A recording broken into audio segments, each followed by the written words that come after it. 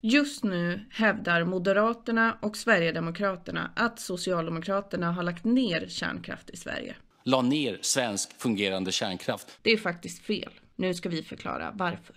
Låt oss backa bandet lite.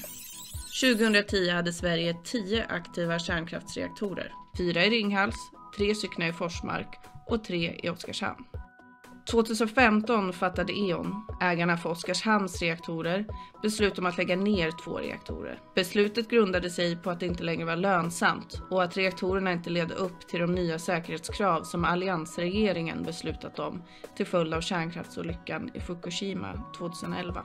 2015 fattade också Vattenfall beslut om att stänga två reaktorer i Ringhals. Det var ett rent kommersiellt beslut till följd av att det krävdes investeringar på grund av de ökade säkerhetskraven. Detta har bland annat klargjorts offentligt av Vattenfalls tidigare ordförande. Besluten som fattades var alltså Vattenfall och E.ON själva som gjorde.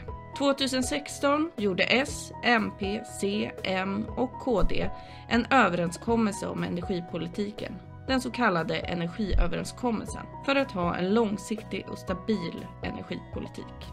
Överenskommelsen innebar bland annat att effektskatten på kärnkraft skulle avskaffas, men trots det stod Vattenfall och E.ON kvar vid sina tidigare aviserade beslut. Moderaterna och Kristdemokraterna lämnade överenskommelsen i slutet av 2019. Så hur var det nu? La sossarna ner kärnkraften? Svaret är nej.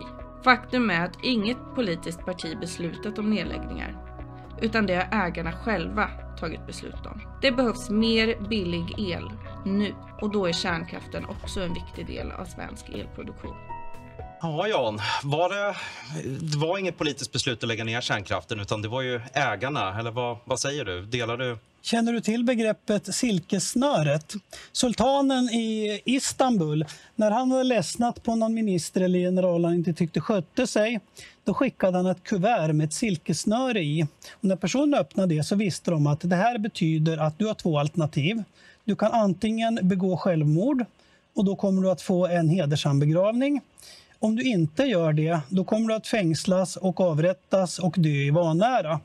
Eh, de flesta som fick detta silkessnöre valde då option nummer ett, det vill säga de tog livet av sig. Var det sultanen som avrättade dem?